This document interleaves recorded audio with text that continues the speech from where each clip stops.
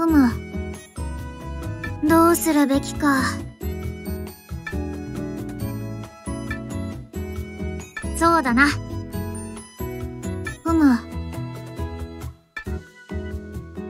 いいね。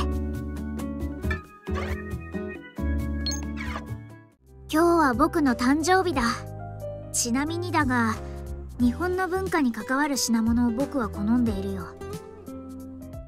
シュネーの誕生日ですか。何か彼女の故郷を思い起こさせるプレゼントとかはありますでしょうか。ありがとう。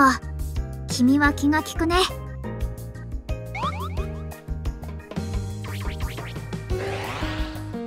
君と過ごす時間が楽しくて仕方ないよ。